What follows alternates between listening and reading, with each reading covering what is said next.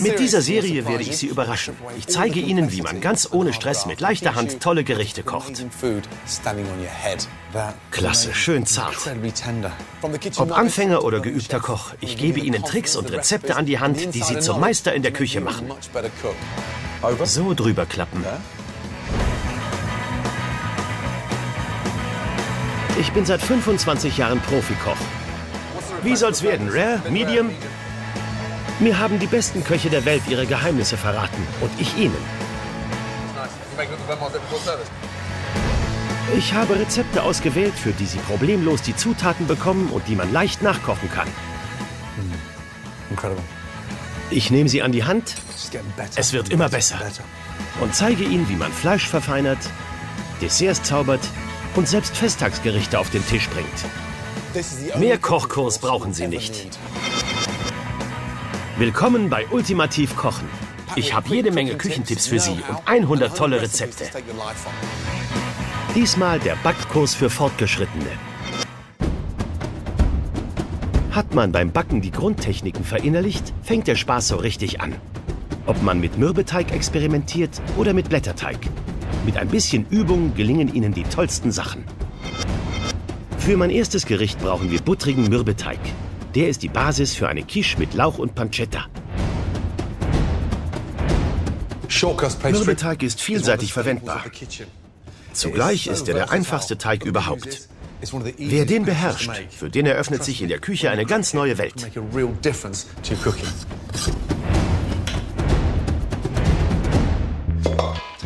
Wir nehmen ein Sieb. Mürbeteig macht satt, denn er enthält viel Fett.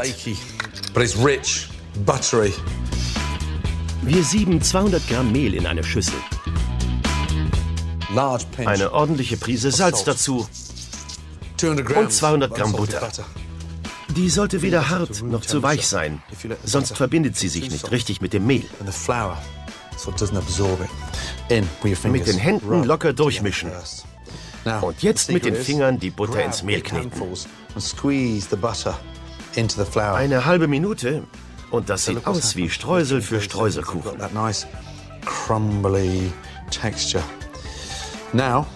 Ein paar Esslöffel Wasser dazu. Aber Vorsicht, der Teig darf nicht zu feucht sein. Dann wird's kein richtiger Teig mehr. Der hier ist aber eher noch etwas zu trocken. Also noch einen Schuss Wasser dazu. So, one more tablespoon of water. And there you go. It's coming nicely. Fühlt sich schon ganz gut an. Das ist das Ziel. Eine schöne, feste Teigkugel. Aufs Backbrett damit. Und nun arbeiten wir mit unseren Handballen. Damit kann man ordentlich Druck machen. Teig umklappen und kräftig flach drücken.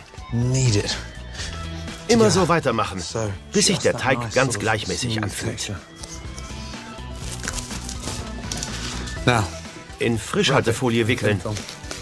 Der Teig kommt für 20 Minuten in den Kühlschrank. Diese Ruhezeit ist sehr wichtig. Die Quiche kann man in einer speziellen Backform machen. Ich dagegen bevorzuge kleine Pfannen dafür. Das gibt ihnen beim Servieren so einen rustikalen Charme. Gründlich mit Öl auspinseln, damit der Teig nicht haften bleibt. Sobald der Teig wieder Zimmertemperatur hat, schön gleichmäßig ausrollen. In die Mitte der Pfanne legen und sie damit auskleiden. Dafür nicht die Finger benutzen, um keine Löcher in den Teig zu stoßen. Mit einem Stück Teig gelingt das viel besser. Ich lasse den Teig über die Kante hängen. So kann ich die Pfanne später bis zum Rand füllen. Wir backen den Teig erstmal blind. Blind backen bedeutet, ihn ohne Füllung zu backen, damit er knusprig bleibt und nicht von der Füllung durchweicht wird. Sorgfältig mit Aluminiumfolie oder Backpapier auskleiden. Nun beschweren. Dafür eignen sich Reiskörner, Hülsenfrüchte oder spezielle Backsteine. In den Ofen damit. 10 Minuten bei 200 Grad. Jetzt kommt die Füllung. Ich mache eine klassische Quiche mit Lauch und Speck. Ich habe hier Pancetta. Pancetta ist Bauchspeck aus Italien. Oft wird sie gewürzt, etwa mit Wacholder, Muskat oder Fenchel. Man kann ersatzweise auch normalen Speck nehmen. Sobald die Pancetta knusprig wird, kommt fein geschnittener Lauch dazu. Wow. Lauch und Speck sind eine tolle Mischung. Den Lauch unbedingt weich werden lassen. Ach, so habe ich mir das vorgestellt. Der Lauch ist im Schweinefett schön braun und leicht knusprig geworden. Mit dem Sieb werden wir überschüssiges Fett los.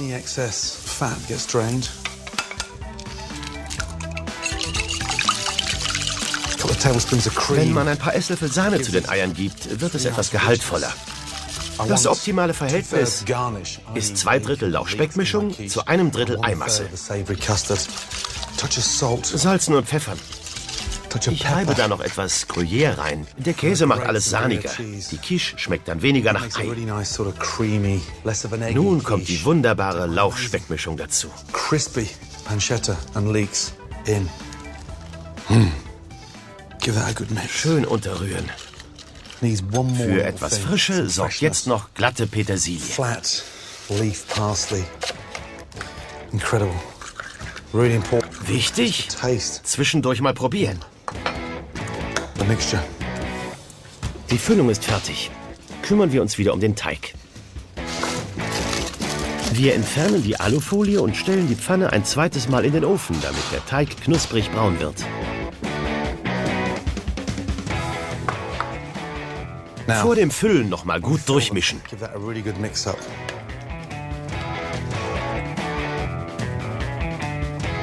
Nun reiben wir ordentlich Käse darüber. Der bildet beim Überbacken eine leckere Kruste.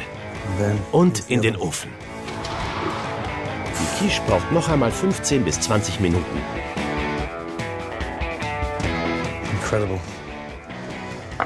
Was für ein herrlicher Duft. Aber eine gute Quiche steht und fällt mit dem Teig.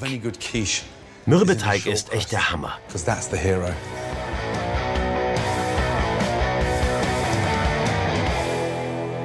Es gibt unendlich viele leckere Backrezepte. Ich werde Ihnen die Qual der Wahl mal etwas erleichtern.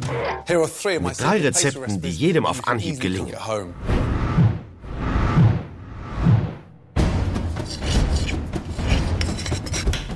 Nummer my 1. indulgence Schokotarts für Genießer.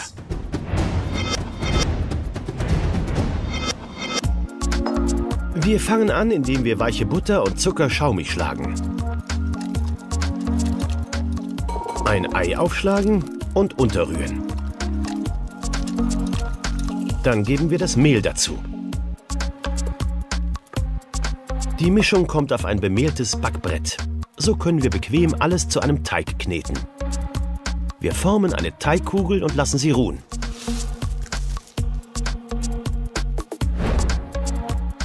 Etwas später rollen wir den Teig so dünn wie ein Eurostück aus. Runde Teigstücke ausschneiden und die Tartförmchen damit auskleiden. Solche mit herausnehmbarem Boden sind am besten. Mit der Gabel den Teigboden durchlöchern, damit er keine Blasen wirft. Und nochmal in den Kühlschrank rein. Nun backen, bis der Teig goldbraun ist. Während die Förmchen abkühlen, machen wir die zart schmelzende Schokoladenfüllung. Dazu kommt eine Schüssel auf einen Topf mit kochendem Wasser, als einfaches Wasserbad. Dann geben wir Sahne, Butter und Schokolade hinein. Rühren, bis sich alles schön verbunden hat.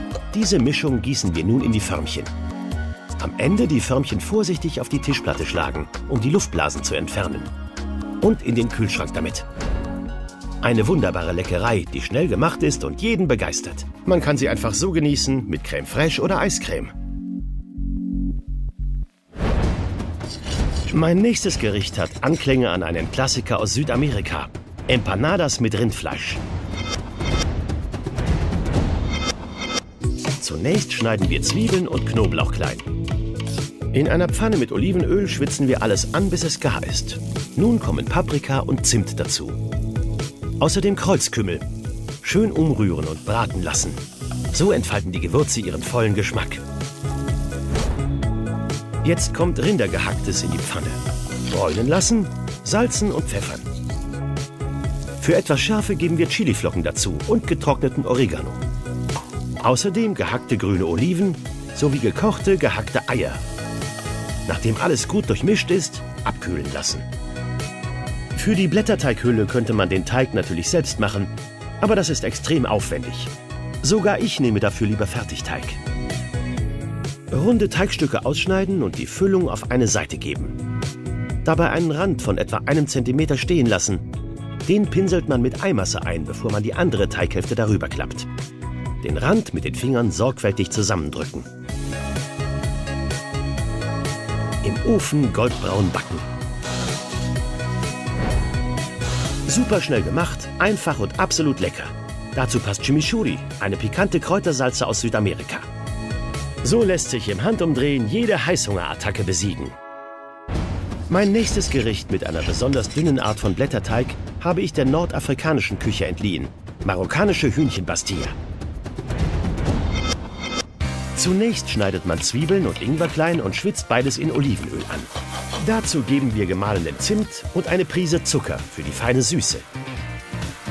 Salzen und pfeffern. Wir würfeln gegarte Hühnerbeine und geben sie mit in die Pfanne.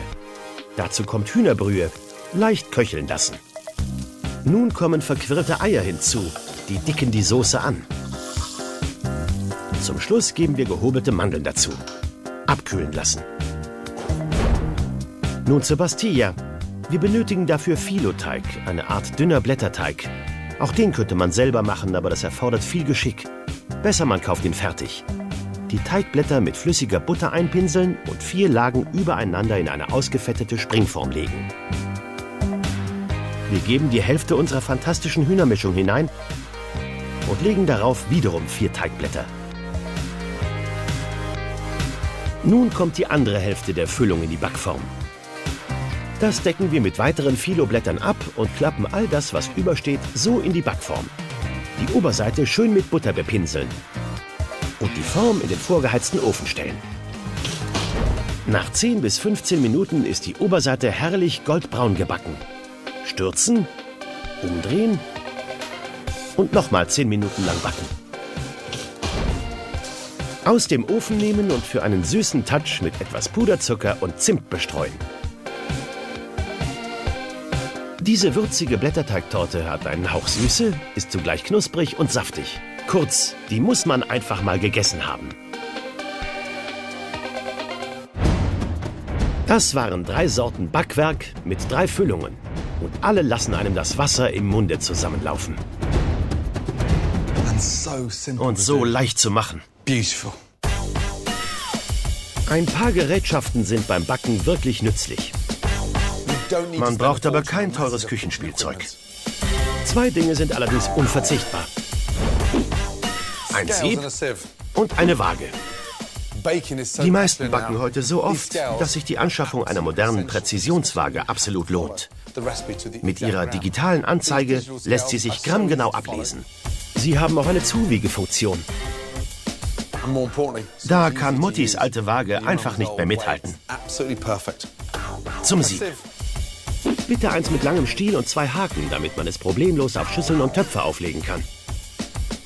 Ein gutes Sieb sollte jeder haben. Es ist preiswert und beim Backen unverzichtbar. Mit diesen beiden Sachen macht Backen richtig Spaß. Und weiter geht's mit meinem Backkurs. Den Teig nicht zu lange kneten. Außerdem dreht sich alles um Milch. Die wichtigste Zutat für so vieles und wir wissen sie nicht zu schätzen. Wo Milch und Backen zusammenkommen, gibt es einen schönen Käsekuchen.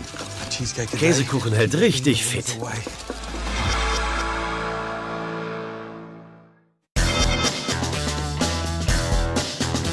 Es gibt auch beim Backen so etwas wie eine Visitenkarte. Und das ist ein guter Käsekuchen. Ich habe dafür ein tolles Rezept.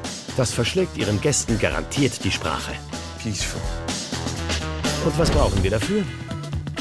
Natürlich allerbeste Zutaten. Das gilt für alles, was man in der Küche zaubert, ob nun gebacken oder gekocht wird. Am besten, man lässt sich vom Experten beraten. Diesmal geht es um Milch und Milchprodukte.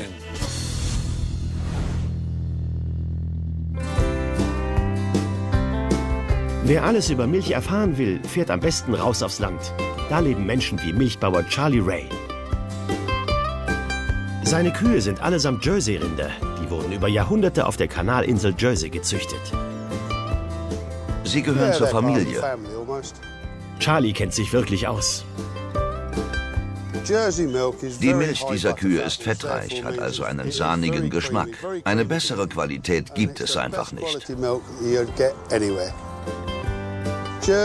Die Jersey-Rinder sind sehr friedlich und zutraulich. Und sie hier ist mein Liebling.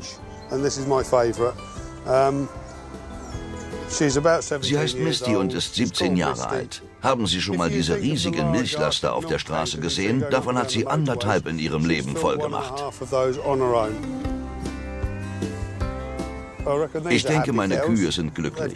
Sie haben ein Dach über dem Kopf, einen trockenen Stall und so viel Futter, wie sie wollen. Je zufriedener die Tiere sind, desto besser ist die Qualität der Milch, die sie geben.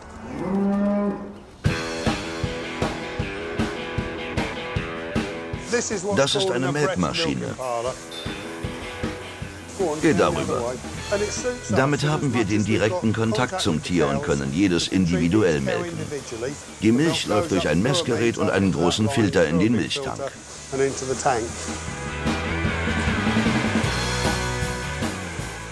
Und fertig. Ohne Milch gäbe es keine Milchschokolade, keinen Käse und keinen Joghurt. Milch ist so wichtig für so vieles und wir wissen sie nicht zu schätzen. Es stimmt, Milch ist für viele ein Alltagsprodukt. Bei Sahne ist das schon etwas anderes, denn damit verbindet man viele Leckereien. Kaffeesahne enthält 10 bis 15 Prozent Fett, ist also eine fettarme Variante für leichte Desserts und Soßen, während normale Schlagsahne mindestens 30% Fett enthält. Die eignet sich für Panna Cotta, Spaghetti Carbonara, kann gekocht, steif geschlagen und eingefroren werden. Saure Sahne ist Sahne, die man mit Bakterienkulturen ansäuert. Die passt zu Folienkartoffeln und ist lecker in Desserts. Eine Spezialität der englischen Küche ist die fast butterartige Clotted Cream, die auf Scones gegessen wird. Der italienische Mascarpone ist genau genommen ein Frischkäse mit einem hohen Fettgehalt, ohne den Tiramisu einfach undenkbar wäre.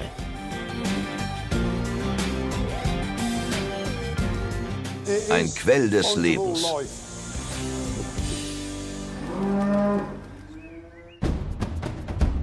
Auch beim Backen gilt die Erkenntnis, weniger ist oft mehr. Ein ganz einfaches Rezept gut gemacht findet oft die meisten Bewunderer. Ein perfektes Beispiel ist mein gebackener Käsekuchen nach Art des New York Cheesecake. Essen soll einen beeindrucken. Aber oft werden gerade Desserts mit Zuckerwatte und anderem Zeug wild dekoriert. Viel toller ist es doch, wenn etwas, das einfach aussieht, umwerfend schmeckt. Wie dieser Käsekuchen.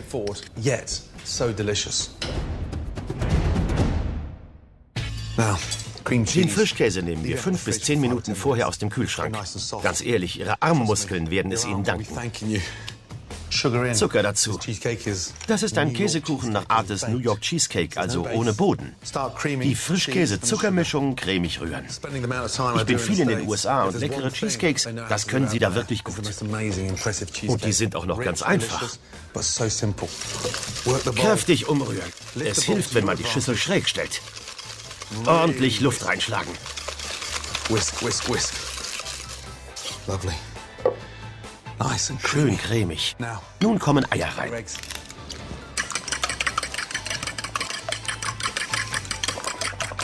Die Eier gibt man am besten nach und nach dazu. Das erleichtert das Unterrühren. Und? A. Es wird schön schaumig. Und B. Die Mischung fällt nicht auseinander. Und der Rest. Lovely.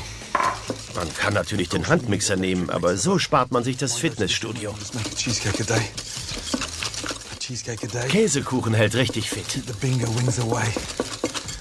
So, noch ein paar Esslöffel Mehl. Gut unterschlagen, damit es nicht klumpt. Nun die Aromen für den Cheesecake. Ich reibe frische Zitronenschale da rein. Das reicht mir aber nicht. Ich gebe auch noch ganze Himbeeren dazu. Vorsichtig unterheben, die sollen ganz bleiben. Die Springform mit Butter einfetten. So kommt der Cheesecake nachher heil raus.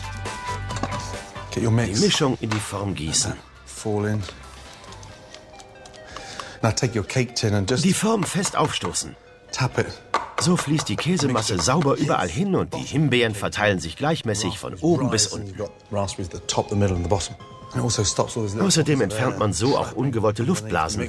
Wir wollen ja keine Löcher im Käsekuchen haben.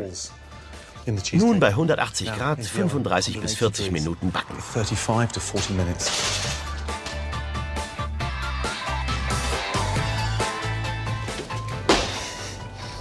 Hm. Leicht aufgegangen. Öffnen. Das ist exakt die Farbe, die ich mir gewünscht habe. Einfacher kann ein Kuchen nicht sein. Und doch hat dieser Cheesecake Style. Beautiful.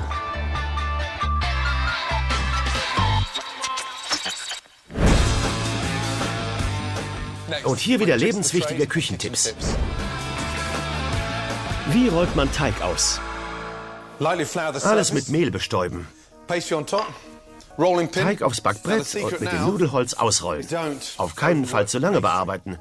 Ausrollen, drehen, ausrollen. So wird's schön gleichmäßig. Drehen und auswalzen. Wenn sich Risse zeigen, einfach den Teig wieder zusammendrücken.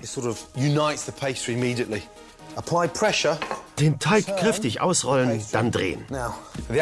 Bis er so dick wie eine 1-Euro-Münze ist. Ums Nudelholz wickeln. Wunderbar. Damit man einen akkuraten Teigrand bekommt, lässt man den Teig einfach überhängen. Nach dem Backen kann man die Kante dann ganz präzise abschneiden. Damit ein Kuchen gleichmäßig aufgeht, empfehle ich, ihn genau in die Mitte des Ofens zu stellen. Da wird er von der heißen Luft umströmt. Um zu prüfen, ob der Kuchen fertig ist, steckt man ein Messer, einen Holzstab oder zur Not eine Spaghetti hinein. Klebt Teig daran, muss der Kuchen noch mal rein. Ansonsten ist er fertig. Um beim Blindbacken die Alufolie oder das Backpapier zu beschweren, kann man Reiskörner, Getreide oder Hülsenfrüchte nehmen. Kochen kann man die nicht mehr, aber aufheben fürs nächste Mal. Wer geschlagenes Eiweiß oder steife Sahne unter einen Teig heben möchte, sollte das mit einem scharfkantigen Esslöffel tun. So stellt man sicher, dass die kleinen Luftblasen im Schaum verbleiben.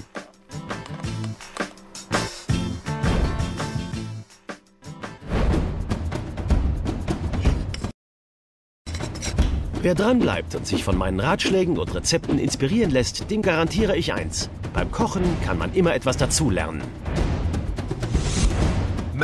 Viele der Rezepte findet man auch auf meiner App im Internet. Los, an den Herd. Nächstes Mal geht es um Gerichte, die Ruhe brauchen. Einzeln übergießen, die Zeit muss sein. Dazu viele Tipps. Das Brot saugt wie ein Schwamm all das Fett auf. Und ein exklusiver Nachtisch. Langsam gegarte Früchte. So haben sie Feigen noch nie gegessen.